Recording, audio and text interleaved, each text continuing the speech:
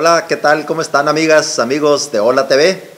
Aquí de nuevo con ustedes en este segmento de tips de finanzas y de negocios.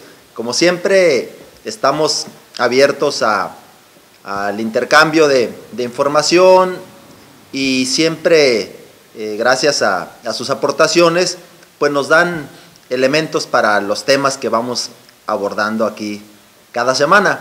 Y en esta ocasión, aunque ya reiteradamente me lo habían comentado, pero estuve platicando con un amigo que me decía, oye Carlos, mira, ya definitivamente me convenciste, voy a renunciar a mi empleo y me voy a dedicar a, a ser emprendedor.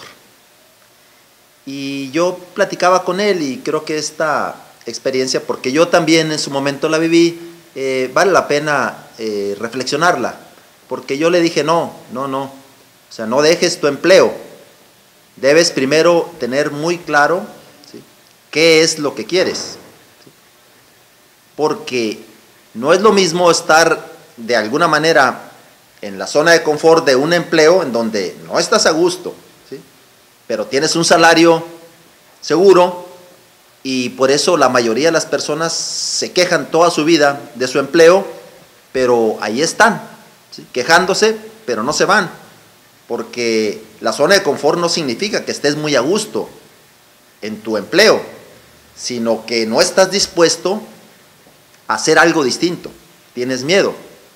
Y ser un emprendedor obviamente implica dar un paso, arriesgarse hacia lo desconocido porque a diferencia de un empleo que ya ni actualmente es nada seguro, eh, un emprendimiento poner un negocio, hacer una empresa, pues lleva todo el riesgo de que tengas muchos más tropiezos que los que se pueden tener en un trabajo normal. Y yo le comenté, mira, lo más importante para que tú tomes una decisión es saber cuál es tu pasión, qué es lo que realmente te gusta. Primero, hay que ver si donde estás tú trabajando no es lo que más te guste.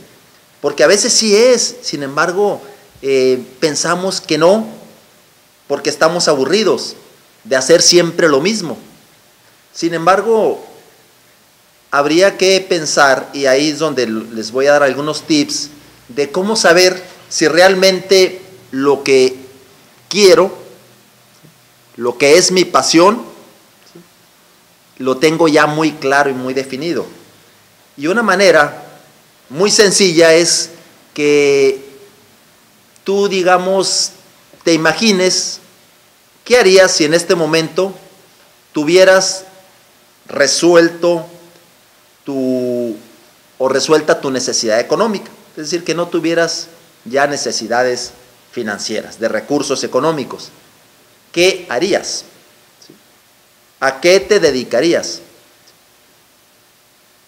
La respuesta que tú encuentres, esa es realmente tu misión y tu pasión y a lo que tú debes de dedicarte y analizar si no estás ahorita haciendo eso, entonces sí piensa qué es lo que voy a hacer. Claro, yo también me encuentro con que eh, de entrada la mayoría de las personas cuando le preguntas, ¿y tú qué harías si ya tuviera resuelto tu problema económico, no, pues yo no haría nada. Yo pues me dedicaría a descansar, a viajar o, no sé. Pero normalmente dicen, pues no haría nada. Yo ahí les digo, no, no, no, esa no es tu pasión, esa es una depresión. Y debes ir al médico, porque si tú piensas que lo que harías si no tuvieras necesidades económicas sería nada, sería descansar, eso es una enfermedad que se llama depresión, porque solo las personas deprimidas son las que no tienen ganas de hacer nada. Porque todos queremos descansar, lo requerimos, pero es nada más eh, un tiempo necesario para recuperar fuerzas y dedicarte a la actividad. Es falso que si tú tuvieras tus problemas resueltos te, te dedicarías a descansar. No, no, tú harías lo que realmente te gusta hacer. Una vez que tengas definido eso, y si ves que no es lo que estás haciendo, entonces sí, fíjate el propósito de dedicarte a esa nueva actividad, a ese nuevo emprendimiento. Pero, ¿cómo vas a dar ese salto? Aquí viene otro tip. Mira, tú necesitas primero saber utilizar tu tiempo libre, es decir, fuera de tu trabajo. ¿Cuánto tiempo dispones para empezar a dedicarle a esa actividad que tanto te gusta, que tanto te apasiona? Tú te puedes empezar a dedicar de tiempo parcial a esa actividad y vas a empezar a generar ingresos, porque realmente, mira, si tú te dedicas a algo que te gusta y que lo harías inclusive sin que te pagaran, o es más, pagarías por hacerlo, esas son las actividades que tarde o temprano te van a generar muchos ingresos. Pero es poco a poco, se requiere constancia. Tú debes, y eso es un promedio de ir valorando poco a poco, comparando tus ingresos de esa nueva actividad que estás realizando con tus ingresos actuales. Y nunca des el salto de dejar tu empleo hasta que al menos durante tres meses mínimo, o mejor seis meses consecutivos, tú estés generando ingresos por arriba del doble de lo que estás ganando en tu empleo. Entonces quiere decir que ya más o menos tienes un promedio estable de un ingreso superior al que tú tienes y puedes decidir dar el salto. Lo otro que es también, creo, muy importante es cómo vas a tener el ingreso o el recurso para empezar a invertir en, en esa nueva actividad. Ahí es donde tú requieres hacer un gran esfuerzo para que con tu ingreso actual estés separando lo que ya en otros temas nosotros hemos comentado que es tu ahorro o lo que se dice normalmente en términos financieros, págate a ti mismo.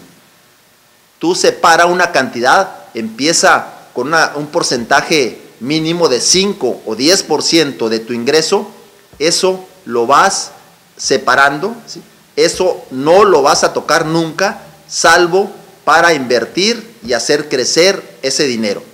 Lo empiezas a hacer el tiempo que te lleve, pero tú vas a ir viendo que es, ese recurso va a ir creciendo, va a ir creciendo y es el que vas a utilizar para invertir, para pagarte a ti mismo.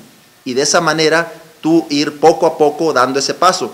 Pero no se puede dar el brinco cuando no tienes un capital, una inversión que te respalde para hacerlo. Eso es lo que sucede con muchas personas que se avientan, dan el brinco, tropiezan y ahí vienen de regreso otra vez a buscar un empleo que a lo mejor ya no van a encontrar, ¿verdad? Entonces, te dejo estas reflexiones.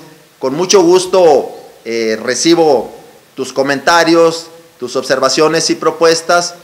Puede ser por correo a negociosbillonarios.gmail.com o por WhatsApp como se, está usando mucho y, estoy recibiendo bastantes de ustedes, lo cual agradezco, al 612-15-90072 y esperemos que esta reflexión te haya servido y nos vemos en la próxima.